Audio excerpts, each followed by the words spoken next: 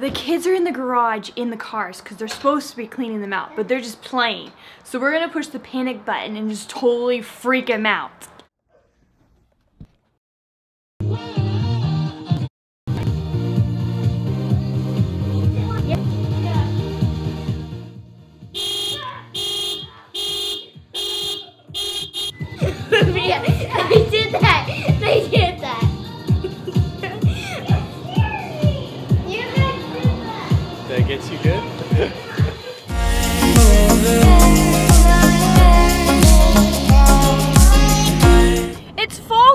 I mean, come on. I think this is like everybody's favorite favorite season. We're on our way to a pumpkin patch. We're just gonna go hang out the rest of the evening. I heard there's some kind of pig racing going on and pick out some pumpkins because we haven't really decorated at all for fall.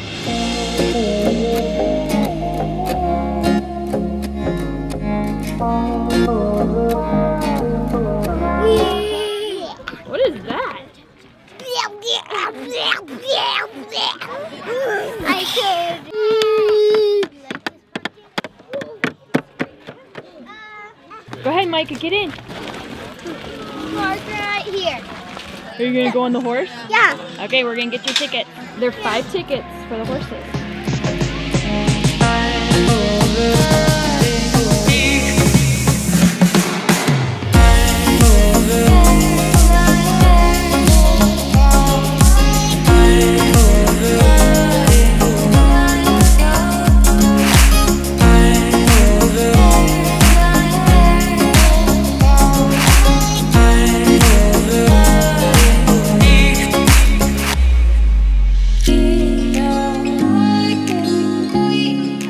To uh, pick a pumpkin? Yes. Okay. Okay, look at this pumpkin. I mean, I don't know what kind of pumpkin happened here. Ew. Ew. Well, this one looks like a dove. Oh my word, it does! This is a tooth. The baby was crying, so I had to pick it up. Oh.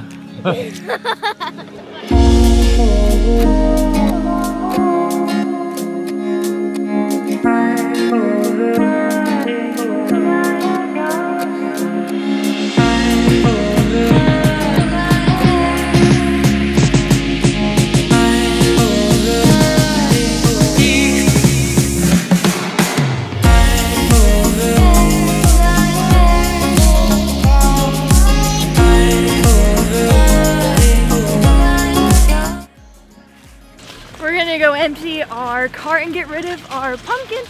And then we're gonna go up to the top of the hill where they have a lot of cool stuff up there. Oh yeah, the pig racing, Jirah. I forgot about that. I think the pig racing has already started, so I don't know, maybe they'll have a couple races that we can catch. I don't know where the keys are. I think I see something. I hear it. No, wrong keys. oh my word, that's hilarious. Look how fun the colors are. Dude, can you see that up there? It is just like all lit up. It's so pretty out there. So there's a slight possibility we might have missed the pig races. I don't know. Do you hear the piggies? Over there, dude. I hear them complaining. Micah, do you hear the pigs? Oh my. What are they eating? are you okay? Eat. What do they eat? Do you see the piggies in there? Yeah. Yeah, yeah. They won't eat you.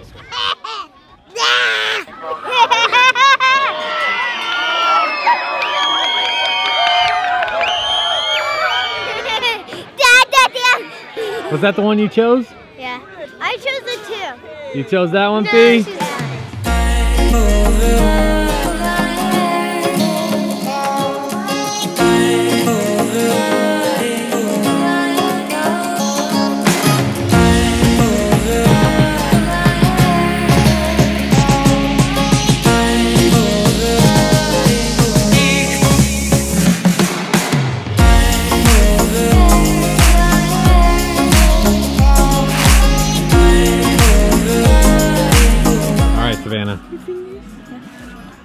Is that all of our tickets? I think so.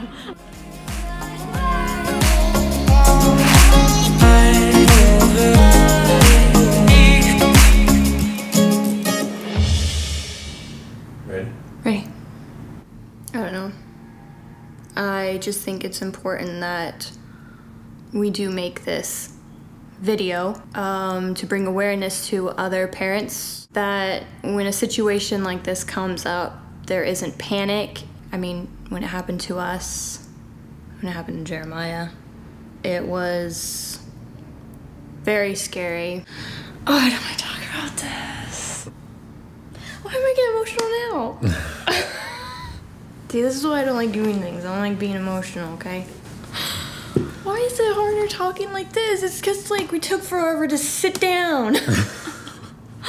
I don't like thinking about it. Um, I was in my room, and out of nowhere, I heard Savannah say, Michael. I've never heard her say it so loud and so much in fear in my life. I ran out into the hallway, and Savannah was on the other side coming toward me with Jeremiah in her arms. And I could see that his whole body was just pale. His eyes were rolled in the back of his head, and his body was just limp. Just a regular day putting Jeremiah down for his nap. Took Jeremiah in his room. He was just kind of grouchy. I put him in the crib and he got really upset about that and he started crying. So you know when babies cry, they usually have this long pause of just like this silent before the loud scream. Like everybody's always like, wait for it, and then you hear the scream.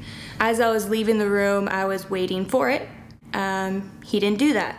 So I went back into the room, just kind of like, okay, what's going on? Why isn't he breathing? He had like this panicked look on his face. I grabbed him out of the crib and blew in his face because that normally will make him breathe in the air again. And he's normally fine, but this time it didn't work. Um, he wasn't um, reacting to that, and it seemed like it was going downhill super fast. Like, I don't want to talk about it.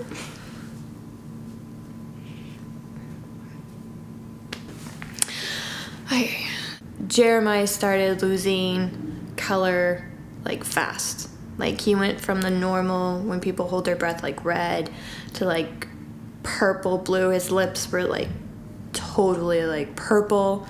His body started reacting to not having oxygen and um, kind of having these seizure like jolts um, and body kind of a stiffer, hunched over a little bit, trying to. I could just see it in his face. He's trying to get air, and I was like, man, oh, I got a little farther this time.